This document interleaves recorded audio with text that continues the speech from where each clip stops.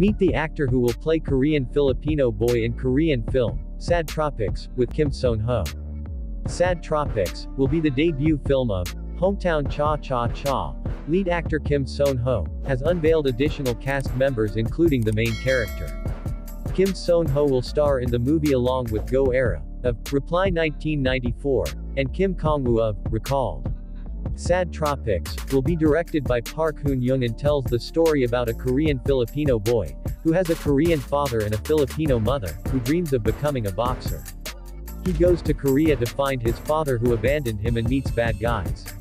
Kopino is a term referring to a person who has Korean and Filipino parents. The actor who will play the Korean Filipino boy is Kang Tae-joo who bagged the role after an audition that drew 1,980 people.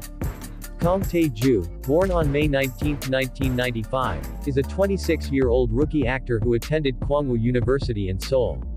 He appeared in the 2020 OCN Korean drama, Missing, The Other Side, playing idol trainee Kong Dae-sung. This was followed by the 2021 web drama, Another Peaceful Day of Secondhand Items, and the KBS Netflix drama, Hello, Me. Like Kim Seon-ho, Sad Tropics, will be Kang Tae-joo's film debut. Since 2018, Kang Tae-joo has been a commercial model.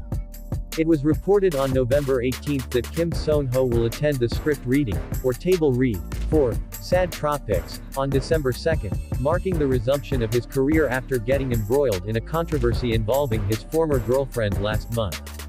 After the script reading, Sad Tropics will start filming on December 10 and will last until February, according to Korean media. Are you excited to watch Sad Tropics? Thank you for watching. Please don't forget to like and subscribe.